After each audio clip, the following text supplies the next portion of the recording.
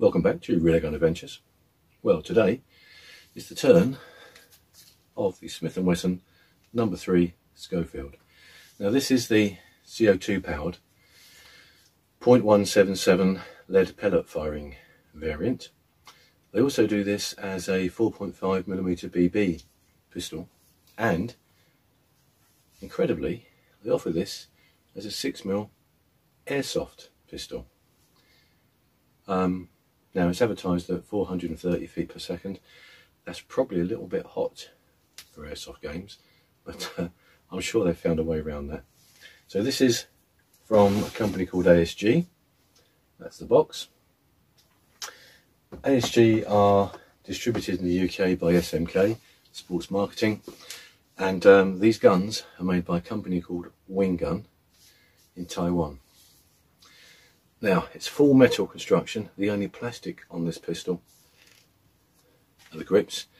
That's uh, simulated wood, and actually it's pretty good. It does look a lot like wood. The action is exactly as it would have been on the original. 6 inch rifle barrel, so it makes it quite accurate for lead BBs.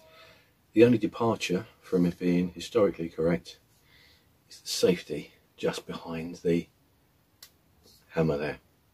So with the safety on, the hammer's locked and you won't move past that first notch, which is considered the safe notch. Um, it's just over a kilo in weight. Um, it does feel quite weighty and there's quite a heft to it. It's got a nice balance. I wouldn't say it was um, overly heavy, it just feels good. It's a top break which is one of the things I like about this. Now, the ejector for the shells, if you push it all the way down quite quickly, they'll all fly out. If you do it slowly, they'll ease up quite nicely.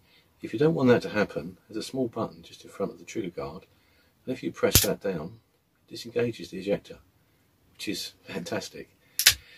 the shells themselves are the standard type that you've come across before. You just put a pellet in the back, load the shells into the revolver and fire away. Um, I've been playing with this and I've had an empty shell under the hammer which is not required. Um, it's just a silly old habit I've got. Um, so I'm getting five shots. but you can put six in if you like, it makes no difference. The finish is called Aging Black and it's very similar to the battlefield finish that you will see on some of the Webley revolvers. It's actually really nice and gives it a really authentic aged look. Anyway, quick bit of history. If you don't already know, Smith & Wesson launched this in 1868. It was a military sidearm and an American major by the name of George W. Schofield took his and modified it. Smith & Wesson liked what he'd done so much. In 1875 they launched the Schofield which was really where this took off and this became um, standard issue sidearm throughout the world. In the late 1890s, Smith & Wesson discontinued the Model 3, but that wasn't the end of its story. It was then made under license all over the world and was used by the Russian army, the Spanish, the Italians, the French, and the British army. And in the First World War, this was referred to by the British troops as the Spanish Webley. And actually, if you look, the Webley service revolver probably owes quite a lot to the design of this particular pistol. Anyway, let's have a little shoot. I'll put five into a target, see what I get. It's quite windy out there. Um, I've got the camera on maximum zoom, so it's not going to be fantastic filming, but you'll see what's going on. Okay, I'll be right back.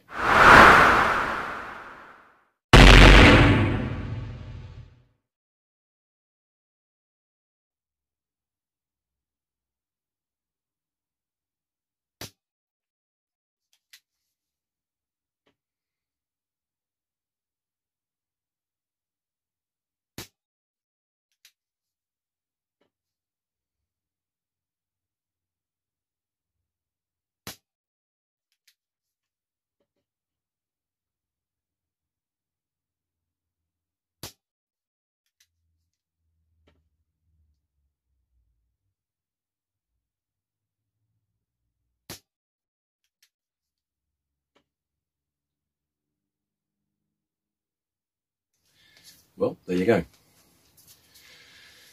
So that's five. That's a good group. Uh, the first one was just finding the range. I've tried three different types of pellets. I've tried the uh, Geco, which are the ones that you saw in the film. I've tried the Interceptors from BSA, and I've tried the um, H&Ns. Um, all pretty good, but the Geco were by far the best. Now, as I say, CO2 powered. One of the nicest things about this, it's really easy to access the CO2. Goes in there. Within that pistol grip is the torn that you use to actually tighten it up and pierce it. So you're not going to lose that, which I think is a very good idea. That's one of the issues often with these things. So that's where the CO2 goes. Loading it is a piece of cake. Literally drop the pellet in the back, rubber o-ring secures it, drop it in. Once you're loaded, if you've left the ejector engaged, you can disengage it if you push the lever the right way. There you go, load the gun. Um, excellent little safety, perfect position, really, really nice crisp trigger. The whole thing looks and feels excellent. Now I've said before, I'm not really into replica guns, uh, and I'm not, but um, this is the exception. It's a little bit of history. It takes me back to the days of the westerns that I grew up watching. Um, lots of famous and lots of infamous characters from the past have favoured these. Jesse James, to name one. Um, Buffalo Bill, to name another. Teddy Roosevelt was rumoured to own one of these.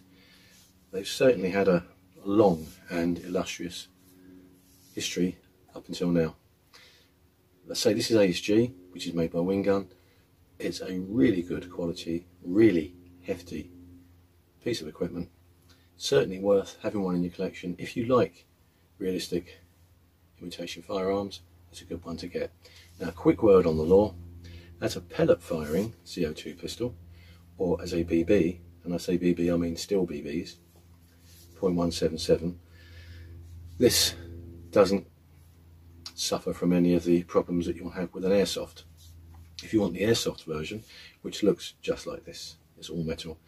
Um, it's a realistic firearm as far as the law is concerned, and either you need a good excuse to have one, that would be if you're a member of a historical reenactment group, you regularly play airsoft games and have the right paperwork and number, or they're going to paint it a strange colour. It's going to be blue, orange, something unrealistic.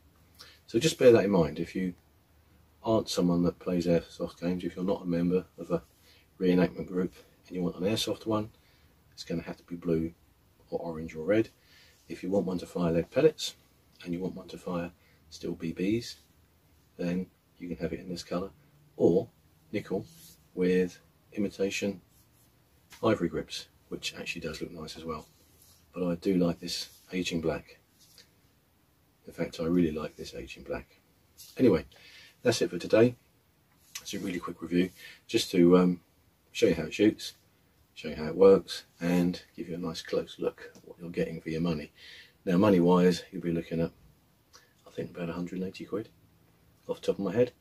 There is a price on the box, um, so if I'm wrong, I'll add a bit to the end of the video. Anyway, thank you very much for watching. Please like and subscribe. Big thank you to all those who have liked and subscribed. I'm going to go and put a plaster on my finger now because I've taken a chunk out of it with a trigger. So uh, don't try that at home. Anyway, that's enough for today. See you again soon. Bye for now.